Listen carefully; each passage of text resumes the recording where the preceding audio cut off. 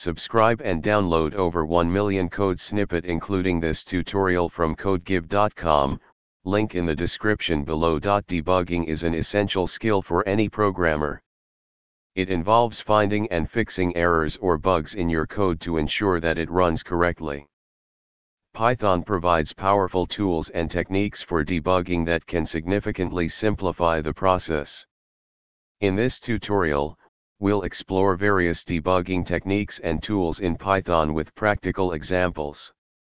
The simplest form of debugging is to insert print statements at different points in your code to display the values of variables and help you understand the flow of execution. Assert statements can be used to check whether a certain condition is true.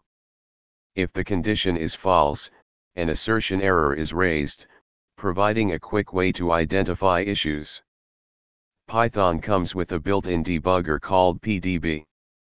You can use it to step through your code, inspect variables, and set breakpoints.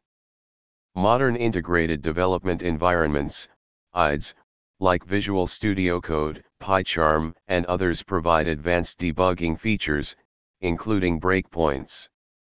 Set breakpoints in your code to pause execution and inspect variables.